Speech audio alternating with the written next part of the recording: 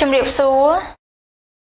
បងប្អូនជនរួមជាជាទីគោរពថ្ងៃនេះគឺជាថ្ងៃអង្គារ6កើតខែកដឹកឆ្នាំមមីឆស័កពុទ្ធសករាជ2558ត្រូវនៅថ្ងៃទី28ខែតុលាគ្រិស្តសករាជ2014នៅពេលនេះសូមអញ្ជើញបងប្អូនជនរួមជាតិតាមដានទស្សនាព័ត៌មានសង្ខេបនៅថ្ងៃនេះដូចតទៅប្រេងសាំងគួរតែចុះថ្លៃមួយត្រឹមតែ4500រៀលក្នុង1លីត្រនៅថ្ងៃនេះ នៅលើទំព័រ Facebook ផ្ទាល់ខ្លួនរបស់លោកសំរងស៊ីប្រធានគណៈបកសង្គ្រោះជាតិបានបរិយាយអំពីតម្លៃប្រេងសាំងនៅក្នុងប្រទេសកម្ពុជាដែលមានតម្លៃថ្លៃដោយសារតែអំពើពុករលួយតាមរយៈទំព័រ Facebook ផ្ទាល់ខ្លួននេះលោកសំរងស៊ីបានសរសេររៀបរាប់ថាដោយសារតែតម្លៃប្រេងកាតឆៅនៅលើទីផ្សារអន្តរជាតិបានចុះយ៉ាងខ្លាំងតាំងពីដើមឆ្នាំ2014គឺពី100ដុល្លារមកត្រឹមតែ80ដុល្លារក្នុងមួយធុងចំណុះ159លីត្រ ប្រេងសាំងគុណភាពល្អដែលលក់នៅប្រទេសកម្ពុជា មានតម្លៃ5000រៀលក្នុង1លីត្រកាលពីដើមឆ្នាំនេះគឺគួរតែចុះថ្លៃមកត្រឹមតែ4500រៀលក្នុង1លីត្រនៅចុងខែតុលាឆ្នាំ2014នេះលោកសំរងស៊ីក៏បានបន្តទៀតថាច្រើនឆ្នាំណាស់មកហើយប្រេងសាំងនៅប្រទេសកម្ពុជាអំពើពុករលួយការរត់នៅប្រទេសជិតខាងឲ្យរដ្ឋបាត់ចំណូលយ៉ាងច្រើននិងការកេងប្រវ័ញ្ចលើអ្នកប្រើប្រាស់លើពីនេះ លោកសំរងស៊ីក៏បានប្រៀបធៀបតម្លៃប្រេងសាំងនៅថ្ងៃនេះនៅប្រទេសកម្ពុជានិងនៅប្រទេសជិតខាងគិតជាដុល្លារអាមេរិកដោយប្រទេសកម្ពុជាតម្លៃប្រេងសាំងមានតម្លៃ1.31ដុល្លារឬស្មើនឹង5350រៀលឯតម្លៃប្រេងសាំងនៅប្រទេសវៀតណាមមានតម្លៃ1.09ដុល្លារឬស្មើនឹង4450រៀល រីឯប្រទេសថៃវិញតម្លៃប្រេងសាំមានតម្លៃ1.33ដុល្លារចាក់ថាតម្លៃប្រេងសាំនៅប្រទេសវៀតណាមថោកជាងនៅប្រទេសកម្ពុជាឆ្ងាយណាស់រីឯប្រទេសថៃប្រេងសាំថ្លៃប្រហាក់ប្រហែលនៅប្រទេសកម្ពុជា តែប្រាក់ខែនៅប្រទេសថៃខ្ពស់ជាងនៅប្រទេសកម្ពុជាប្រមាណ3ដង ដែលប្រាក់ឈ្នួលទាបបំផុតគឺ300បាតស្មើនឹង10ដុល្លារក្នុងមួយថ្ងៃឬ300ដុល្លារក្នុងមួយខែសមត្ថកិច្ចប្រមាណ50នាក់ ព័ន្ធវត្តចាស់ក្នុងសង្កាត់ជ្រោយចង្វាតាមការចុះផ្សាយរបស់គេហទំព័រ VOD បានឲ្យដឹងថាសមត្ថកិច្ចប្រមាណ50នាក់នៅព្រឹកថ្ងៃអង្គារនេះព័ន្ធវត្តចាស់នៅសង្កាត់ជ្រោយចង្វាទីដែលប្រជាពលរដ្ឋមានចំនួនដីធ្លីមកពីឃុំបឹង5ស្រុកបូវែលខេត្តបាត់ដំបងកំពុងស្នាក់នៅដើម្បីរកអន្តរាគមន៍ពីរដ្ឋាភិបាលនិងអាជ្ញាធរថ្នាក់ជាតិគេហទំព័រដដែលនេះបានបញ្ជាក់ឲ្យដឹងតាមរយៈប្រជាពលរដ្ឋមកពីឃុំបឹង5ស្រុកបូវែលខេត្តបាត់ដំបងលោកបូបសម្បូរប្រាប់ថា ពលរដ្ឋរងគ្រោះដែលកំពុងស្នាក់នៅវត្តប្រមាណ50ទៅ60នាក់មកឡោមព័ទ្ធបរិវេណវត្តលោកថាពលរដ្ឋមិនមានកម្រងហាយញាត់អ្វីនោះទេ ហើយក៏មិនដឹងថាការដាក់កម្លាំងមកនេះដើម្បីអ្វីដែរលោកបន្តថាកាលពីថ្ងៃច័ន្ទម្សិលមិញពេលលោកស្រីមូសុខហួរចុះមកសួរសុខទុក្ខពួកគាត់ក៏ឃើញមានសមត្ថកិច្ចចុះមកដាក់ពង្រាយនៅមុខវត្តនេះដែរប៉ុន្តែមានត្រឹមតែប្រមាណ10នាក់ប៉ុណ្ណោះមិនច្រើនដូចថ្ងៃនេះទេ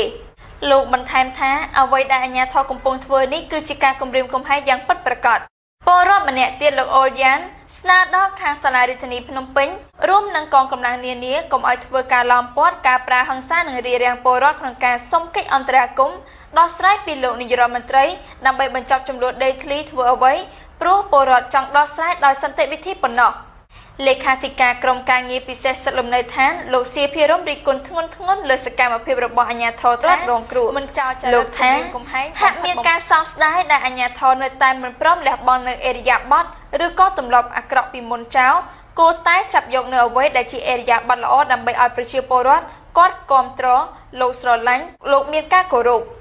សូមរំលឹកថា នៅថ្ងៃច័ន្ទម្សិលមិញដំណើររាជគណៈបកសង្គ្រោះជាតិមណ្ឌលបាត់ដំបងលោកស្រីមូសុហួរបានចុះទៅជួបប្រជាពលរដ្ឋមកពីឃុំបឹង5ស្រុកបវែលខេត្តបាត់ដំបង ដែលកំពុងស្នាក់នៅវត្តចាស់នេះដែលសន្យាជួយជំរុញឲ្យអភិបាលខេត្តនេះបង្កើតគណៈកម្មការជំនាញមួយចោះវាស់វែងនិងផ្ដល់បានកម្មសិទ្ធិដីធ្លីជូនពលរដ្ឋទាំងនោះដើម្បីឲ្យពួកគាត់ទទួលបានដីបង្កបង្កើនផលដោយដើមវិញ។ អ្នកមានចំនួនដីធ្លីទាំងនោះអះអាងថាដីរបស់ពួកគាត់មានចំនួនជាមួយអាជ្ញាធរមូលដ្ឋាននិងអ្នកមានអំណាចអស់រយៈពេលជិត10ឆ្នាំមកហើយដោយមានផ្ទៃដីសរុបប្រមាណជាង1000ហិកតាក្នុងនោះមានពលរដ្ឋប្រមាណ300គ្រួសារទទួលរងនូវផលប៉ះពាល់ពីចំនួននោះ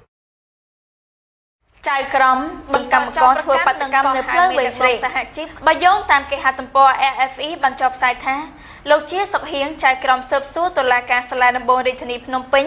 បានចេញដីកាបង្គាប់ឲ្យលោករងឈុនប្រធានសមាគមគ្រូបង្រៀនកម្ពុជាឯករាជ្យនិងលោកស្រីយ៉ាងសភ័ណ្ឌប្រធានសម្ព័ន្ធសហជីពកម្ពុជាឲ្យចូលខ្លួនដើម្បីចៅក្រមសួរចម្លើយនៅថ្ងៃទី31ខែតុលាក្នុងសំណុំរឿងកម្មកររោងចក្រកាដេ ធ្វើបាតកម្មមុខសួនឧស្សាហកម្មកាណាឌីយ៉ានៅផ្លូវវៃស្រេងមេដឹកនាំសមាគមនិងសហជីពកម្មករទាំងពីររូបនេះត្រូវបានចៅក្រមចោទប្រកាន់ពីបទហិង្សាដោយចេតនាមានស្ថានទម្ងន់ទោសធ្វើឲ្យខូចខាតដោយចេតនាមានស្ថានទម្ងន់ទោសគំរាមកំហែងនិងបិទផ្លូវក្នុងពេលកម្មករធ្វើបាតកម្មចាប់ពីថ្ងៃទី25ខែធ្នូឆ្នាំ2013រហូតដល់ថ្ងៃទី3ខែមករាឆ្នាំ2014គេហទំព័រដដែលនេះបានបន្ថែមឲ្យដឹងទៀតថា ចៅក្រមបានចាប់ប្រកាន់លោករងឈុននិងលោកស្រីយ៉ាងសុភ័ណ្ឌពីបទហិង្សាដោយចេតនាស្ថានទម្ងន់ទោសធ្វើឲ្យខូចខាតដោយចេតនាស្ថានជាប់នៅបញ្ហាអ្វីមួយនិងប្រាមជ្ឈបាយដើម្បីជាឧបសគ្គដល់ចរាចរណ៍សាធារណៈលោករងឈុនបានសម្ដែងការភ្ញាក់ផ្អើលនឹងបាត់ចោលប្រកាន់ដោយលោកថាអ្នកបាញ់កម្មករឲ្យស្លាប់និងរបួសក្នុងពេលតវ៉ានោះបែរជាតុលាការមិនចាត់ការផ្ដន់ទាទោសជនដីដល់និងអ្នកនៅពីក្រោយផ្ទុយទៅវិញបែរជាតុលាការមកកោះហៅអ្នកការពារសិទ្ធិកម្មករទៅវិញ លោករងឈុនបានចាត់ទុកតុលាការដែលចាត់ការបណ្ដឹងប្រឆាំងមេដឹកនាំសហជីពកម្មករថាជាឧបករណ៍នយោបាយចៅក្រមបន្តចាត់ការលើសំណុំរឿងប្រឆាំងនឹងមេដឹកនាំសហជីពកម្មករនៅពេលនេះគឺចំពេលដែលមេដឹកនាំសហជីពកម្មករធ្វើយុទ្ធនាការទាមទារដំឡើងប្រាក់ខែកម្មករជាការកត់សម្គាល់ក្នុងសំណុំរឿងចោទប្រកាន់មេដឹកនាំសហជីពកម្មករពាក់ព័ន្ធនឹងផ្លូវវែងស្រីនោះយ៉ាងហោចណាស់ក៏មានមេដឹកនាំសហជីពកម្មករជាច្រើនរូបផ្សេងទៀតរួមមាន លោកអាត់ធុននិងលោកប៉ៅស៊ីណាជាដើមត្រូវបានចៅក្រមចោទប្រកាន់និងកោះហៅឲ្យចូលខ្លួនជាបន្តបន្ទាប់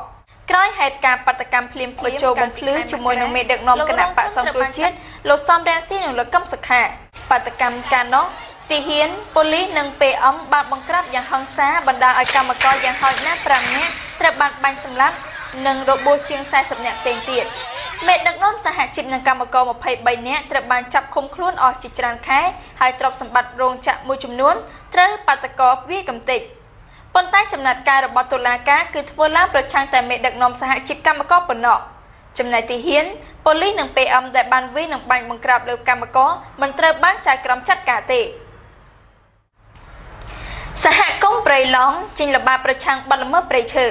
តាមការចុះផ្សាយរបស់គេហទំព័រភ្នំពេញប៉ុស្តិ៍បានដឹងថា ប្រជាសហគមន៍ព្រៃឡង់ចំនួន4ខេត្តដែលស្ថិតនៅជុំវិញព្រៃឡង់ប្រមាណ700នាក់បានចាប់ផ្ដើមធ្វើការជិះម៉ូតូល្បាតព្រៃសាជាថ្មីប្រឆាំងទៅនឹងបទល្មើសព្រៃឈើបន្ទាប់ពីមានការកាប់បំផ្លាញឈើយ៉ាងធ្ងន់ធ្ងរពីសំណាក់ក្រុមឈ្មួញដែលពុំមានការទប់ស្កាត់តាមរយៈលោកហ៊ឿនសុភីតំណាងប្រជាសហគមន៍ព្រៃឡង់ដែលកំពុងជិះម៉ូតូល្បាតព្រៃបានថ្លែងថា ពលរដ្ឋស្ថិតនៅក្នុងខេត្តក្រចេះខេត្តកំពង់ធំខេត្តព្រះវិហារនិងខេត្តស្ទឹងត្រែងបានចាប់ផ្ដើមធ្វើយុទ្ធនាការល្បាតព្រៃចំនួន3ថ្ងៃគឺចាប់ពីថ្ងៃទី27ដល់ថ្ងៃទី29ខែតុលាដោយក្នុងមួយខេត្តកំណត់យកម៉ូតូចំនួន15គ្រឿងលោកថាបើយើងមិនល្បាតព្រៃមិនអាចការពារព្រៃបានទេ ពីព្រោះនៅឆ្នាំនេះគេកាប់ព្រៃឥតឈប់ឈរ លោកបានថ្លែងថាពលរដ្ឋទាំង4ខេត្តបានកំណត់ជួបជុំគ្នានៅថ្ងៃទី3ត្រង់ចំណុចភ្នំជីខេត្តកំពង់ធំបន្ទាប់មកនឹងធ្វើរបាយការណ៍រួមគ្នានៅអ្វីដែលពួកគេបានល្បាតក្នុងរយៈពេលប៉ុន្មានថ្ងៃនោះលោកថានៅថ្ងៃចាប់ផ្ដើមនេះយើងបានរឹបអូសរណាយន្តចំនួន2គ្រឿងនិងឈើជាង10ម៉ែត្រគូបប៉ុន្តែឈើយើងគ្មានលទ្ធភាពដឹកចេញឬក៏កំទេចចោលទេដោយសារតែភ្លៀងខ្លាំងចំណែកឯរណានឹងធ្វើការកំទេចចោល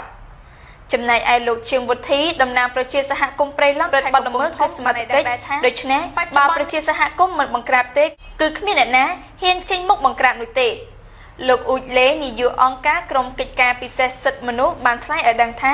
ព្រៃឡង់សពថ្ងៃពុំមានអ្នកណាជួយការពារក្រៅពីប្រជាសហគមន៍ខ្លួនឯងនោះឡើយចំណែកឯម្ចាស់ចំនួនវិញពុំបានមើលឃើញអំពីបញ្ហានេះនោះទេ គឺមើលឃើញតែឈ្មោះដែលគេបំផ្លាញ។ សូមបញ្ជាក់ថាបើយោងតាមរបាយការណ៍របស់សមាគមអាត់ហុកដែលបានចេញផ្សាយកាលពីឆ្នាំ2012បានដឹងថាយ៉ាងហោចណាស់ក៏មានក្រុមហ៊ុនចំនួន33ដែលបានទទួលដីសម្បត្តិសេដ្ឋកិច្ចពីរដ្ឋាភិបាលដើម្បីធ្វើការវិនិយោគនៅក្នុងតំបន់ព្រៃឡង់ដែលមានផ្ទៃដីសរុបចំនួន1លាន45857ហិកតា ក្នុងនោះដីសម្បត្តិព្រៃចំនួន744,720ហិកតា ដែលមានក្រុមហ៊ុនចំនួន5ដីសម្បត្តិសេដ្ឋកិច្ច126,695ហិកតា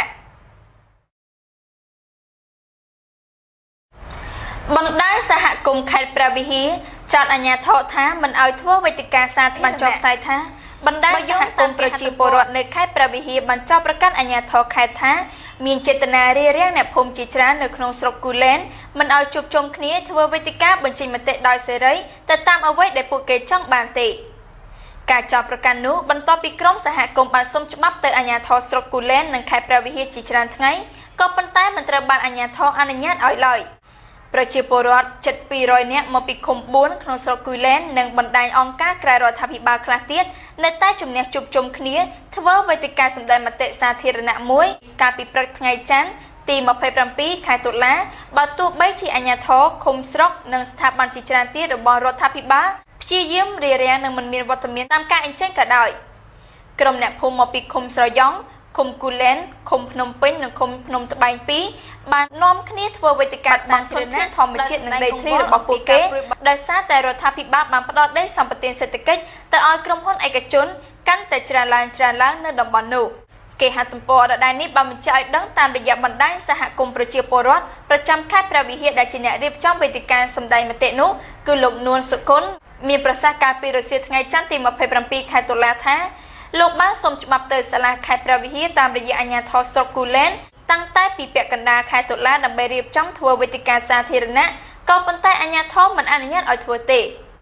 លោកនួនសុគន្ធបញ្ជាក់ថាមិនត្រឹមតែអាជ្ញាធរខេត្តព្រះវិហារមិនអនុញ្ញាតឲ្យសហគមន៍ប្រជាពលរដ្ឋធ្វើវេទិកាសម្ដែងមតិនោះទេថែមទាំងហាមឃាត់អាជ្ញាធរមូលដ្ឋាននិងមន្ត្រីជំនាញជាច្រើនមិនឲ្យចូលរួមទៀតផង។ អ្នកសម្របសម្រួលសមាគមការពីសំណុអាតហុកខេត្តព្រះវិហារលោកឡាវច័ន្ទបានហៅអេរិយាប័ត្ររបស់អាជ្ញាធរខេត្តព្រះវិហារនៅស្រុកគូលែនថាសម្ដែងមតិនោះមែនរារាំងប្រជាពលរដ្ឋលោកចាត់ទុកថា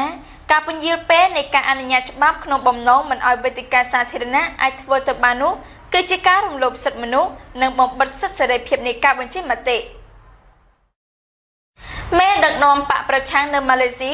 ឡើងសវនាការចុងក្រោយដែលអាចនាំឲ្យលោកចូលពន្ធនាគារ បើយោងតាមគេហទំព័រ VOD បានចុះផ្សាយថាតុលាការសហព័ន្ធនៃប្រទេសម៉ាឡេស៊ីនៅថ្ងៃអង្គារនេះបើកសវនាការនៅដំណាក់កាលចុងក្រោយប្រឆាំងមេដឹកនាំបកប្រឆាំងដ៏ល្បីល្បាញអាន់វ៉ាអ៊ីប្រាហ៊ីមដែលអ្នកនយោបាយមានរឿងអាស្រូវផ្លូវភេទរូបនេះអាចនឹងត្រូវនាំខ្លួនចូលពន្ធនាគារខណៈអ្នកសង្កេតការចាត់ទុកជារឿងនយោបាយដើម្បីបង្ក្រាបក្រុមប្រឆាំងគេហទំព័រដដែលនេះបានបញ្ជាក់ឲ្យដឹងទៀតថា តាមសេចក្តីរាយការណ៍ Channel New Asia សវនាការនេះប្រព្រឹត្តទៅរយៈពេល2ថ្ងៃហើយលោកអាន់វ៉ាអ៊ីប្រាហ៊ីមត្រូវបានរាយការណ៍មកថាលោកបានសម្រេចអាចមានទោសនាំទៅពន្ធនាគារក្តីព្រោះលោកចាត់ទុកថា ជារឿងប្រឌិតខាងនយោបាយប្រឆាំងរូបលោកលោកអាន់វ៉ាដែលមានអាយុ67ឆ្នាំបានប្រាប់អ្នកសារព័ត៌មាននៅខាងមុខតុលាការថាលោកនឹងប្រឆាំងការចោទមកលើរូបលោកដល់ដំណាក់កាលចុងក្រោយហើយសន្យាទៅដេកក្នុងពន្ធនាគារប្រសិនបើលោកពិតជាប្រព្រឹត្តមែននោះ។ លោកចាត់វិញថាវាជារូបភាពនៃអំពើផ្ដាច់ការរបស់អ្នកនយោបាយកាន់អំណាចរបស់លោកនាយករដ្ឋមន្ត្រី Najib Razak ដែលព្យាយាមបំបត្តិសម្លេងលោកប្រទេសម៉ាឡេស៊ីជារដ្ឋអ៊ីស្លាមដែលប្រឆាំងដាច់ខាតការស្រឡាញ់ភេទដូចគ្នាលោកអាន់វ៉ាអ៊ីប្រាហ៊ីមត្រូវបានចោទករណីស្រឡាញ់បរិសម្នាក់ដែលជាជំនួយការរបស់ខ្លួន ការលោកជាឧបនាយករដ្ឋមន្ត្រីនៅឆ្នាំ2002ប៉ុន្តែលោកបដិសេធក្រុមអ្នកសង្កេតការណ៍និងក្រុមសិទ្ធិមនុស្សនិយាយថា ករណីនេះគឺជារឿងនយោបាយច្រើនជាងឬបុគ្គលនិងផ្លូវច្បាប់ជាធិបតេយ្យ23នាក់ដាក់គុក3ឆ្នាំអ្នកតវ៉ាក៏តាមការចុះផ្សាយរបស់គេហទំព័រភ្នំពេញប៉ុស្តិ៍បានឲ្យដឹងថាបន្ទាប់ពីមានការអំពាវនាវជាអន្តរជាតិឲ្យដោះលែងក្រុមចុងចោតទាំងនោះតុលាការ A11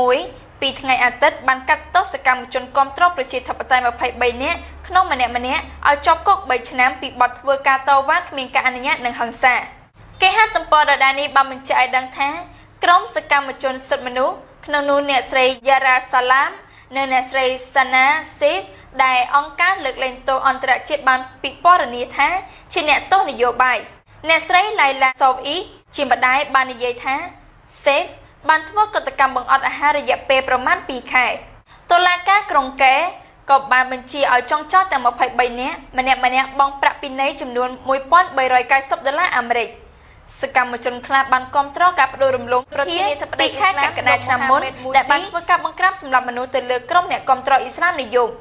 ចាប់តាំងពីពេលនោះមកពួកគេបានងាកមកលើក្រុមអាជ្ញាធរថ្មីខណៈពួកគេបានពង្រីកការបង្ក្រាបលើគ្រប់ការតវ៉ាទាំងអស់សាលក្រមដែលប្រឆាំងនឹងក្រុមសកម្មជនដែលផ្អៀងទៅអាណាចក្រក្នុងពេលប្រមាណខែថ្មីៗនេះគេអាចត្រូវប្តឹងឧទ្ធរណ៍ ក្រុមចង់ចោតត្រូវគេចាប់ប្រកាន់ពីបទរៀបចំការតវ៉ាខុសច្បាប់មួយនៅថ្ងៃទី21មិថុនាទាមទារឲ្យដោះលែងអ្នកជាប់ឃុំ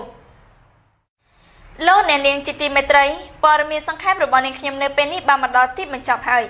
នាងខ្ញុំរ៉ូសម៉ារីយ៉ាសូមថ្លែងអំណរគុណយ៉ាងជ្រាលជ្រៅចំពោះលោកអ្នកនាងដែលបានទស្សនាកម្មវិធីនេះតាំងពីដើមរហូតដល់ទីបញ្ចប់សូមអរគុណសូមគោរពលា